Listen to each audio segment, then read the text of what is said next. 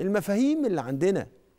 إحنا في مفاهيم ملت راسنا وهي بتخلينا نعيش الجوع ونت... ونفضل عايشين الجوع طول الوقت. زي مفهوم إيه؟ زي مفهوم إن الاحتياج نقص محتاج إن إحنا نكمله. بالنسبة يا سادة للاحتياج الاحتياج مش هي... مش هيروح عننا. إحنا هيفضل النيد والاحتياج معانا طول حياتنا. لأن إحنا فاهمين الاحتياج غلط. الله سبحانه وتعالى كريم. لو كان الاحتياج نقص يحتاج إلى كمال لخلقنا الله بغير احتياج. بس ربنا خلى الاحتياج موجود في حياتنا صفة أساسية فينا. ليه؟ عشان يتحقق فينا يا أيها الناس أنتم الفقراء إلى الله. يبقى مين قال إن الفقر والاحتياج يعني الجوع؟ الاحتياج يا سادة ليس نقصا. الاحتياج صفة فينا معناها إن إحنا مجذوبون إلى الله. نحن مجذوبون إلى الله. فاحتياجنا هو احتياج إلى الله. فأنا كل واحد فينا مجذوب إلى الله.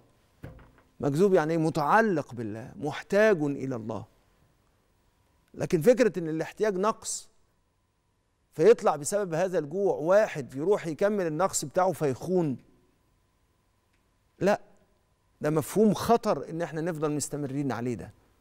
فالاحتياج مش نقص الاحتياج صفة. بتخلينا مجذوبون منجذبون إلى الله. الأمر الثالث التوقعات اللي عندنا. إحنا بنعيش وغرقانين في توقعاتنا وراسمين سيناريوهات لحياتنا إن كل ما نريده لابد أن يتحقق. وكل ما نفكر فيه لابد أن يكون صحيحا وكل اللي بنسعى له لابد أن يكون بين إيدينا. فنتربى دايما إن إحنا جائعون لأن إذا ما تحقق لناش توقعاتنا يبقى إحنا جعانين جعانين للحلم. مع إني وفي السماء رزقكم وما توعدون فإحنا مش جوع ولا حاجة. الأمر الرابع شعورنا بالاستحقاق.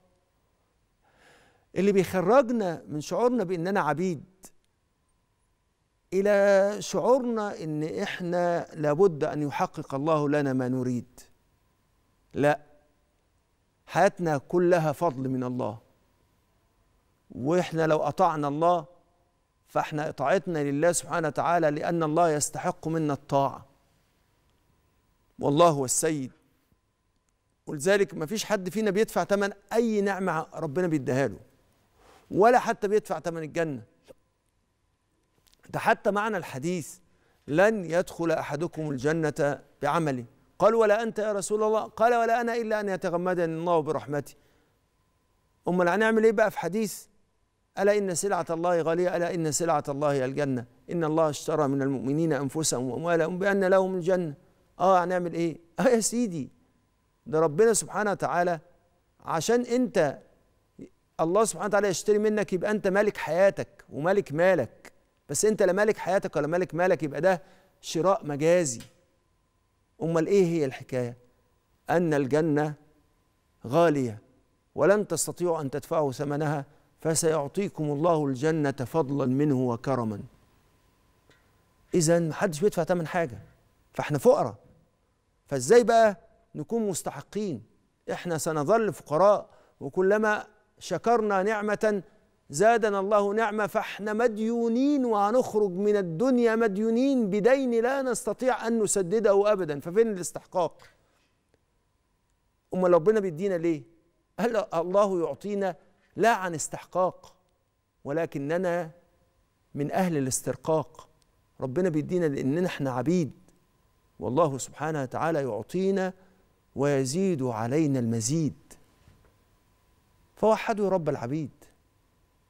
الأمر الأخير والخامس إن زادت قوي فينا المظلومية فأنت إذا كنت صاحب استحقاق يبقى أنت ليك حق على الناس وممكن تصل المظلوميه إن أنت ليك حق على الله. فتستأخر الدعاء عشان أنت شايف نفسك مستحق والمفروض الدعاء يجي لك وأنت ليك دين. لا حول ولا قوة إلا بالله. آه الناس حاسة بالجوع. بس حضرة النبي صلى الله عليه وسلم علمنا حاجة معنى من المعاني اللي تخلي الناس إزاي تقاوم إحساسها بالجوع ده؟ إزاي تقاوم إحساسها بالجوع للمشاعر والجوع إلى المال والجوع إلى الملك والجوع إلى الحياة والرفاهية؟ حضرة النبي يقول لك إيه؟ يقول لك حديث وإحنا لازم نفهم كلام حضرة النبي بوسع أنوار وما أرسلناك إلا رحمة للعالمين. حضرة النبي يقول بيعلمنا حسب ابن آدم لقيمات يقمن صلبة. والحقيقة إن الجوع ده يا سادي يا سادة مش جوع بس للأكل. طب إذا كان الجوع مش جوع للأكل بس حسبه من آدم له ماذا؟ عواطف يقمن قلبه. ما يبقاش بس الإنسان عايز يغرق في العواطف وبيظن إن هو من غير عواطف ده مش هيبقى إنسان عادي.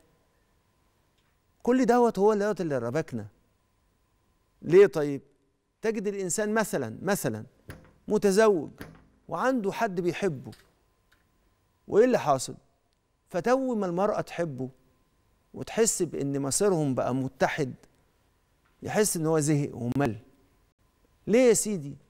أصل فيها الصفة الفلانية. فأنا جعان إن حد يسمعني وينتقدني بس يكون دماغه زي دماغي. لا حول ولا قوة إلا بالله. فشوفوا الجوع يعمل إيه بقى؟ يفسد حياة الإنسان ويجعل الإنسان يبرر خيانته.